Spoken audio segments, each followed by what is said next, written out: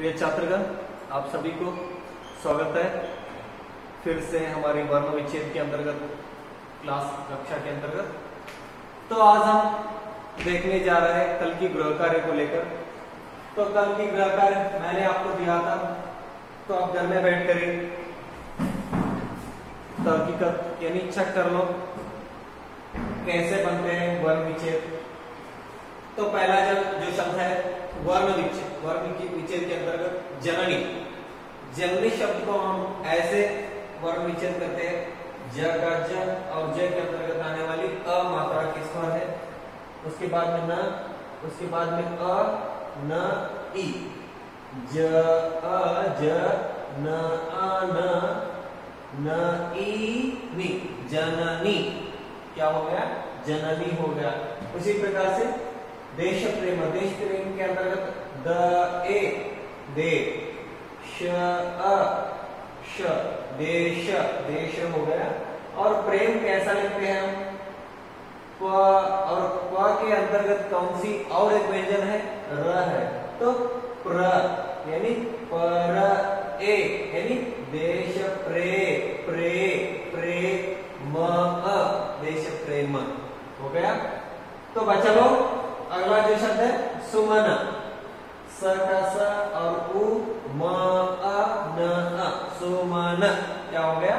सुमन हो गया। तो अगला जो शब्द है बच्चा लोग स्वागत है। स्वागत को हम स के अंतर्गत दो व्यंजन है। तो इसको हम कैसे लिखते हैं, देखिएगा। स्वा में स का स, और व। यानी स, अ, स, व, आ। यानी स्वा हो गया तीनों मिलकर क्या हो गया स्वा हो गया और ग का ग ग, अ, त, अ, यानी स्वागत। क्या हो गया? स्वागत हो गया। तो बचपन को कैसा लिखते हैं हम? लोग ब, अ ब अ, बच, प, अ, प, बच, प, न, अ बचपन बचपन हो गया? तो सुमधुर।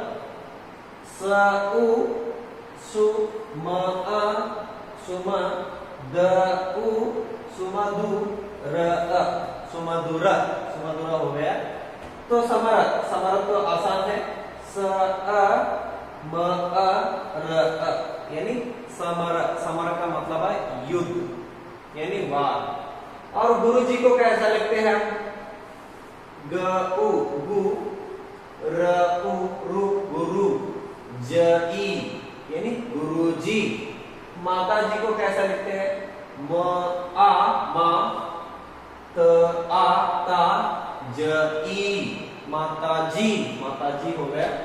तो पिताजी को कैसे लिखते हैं?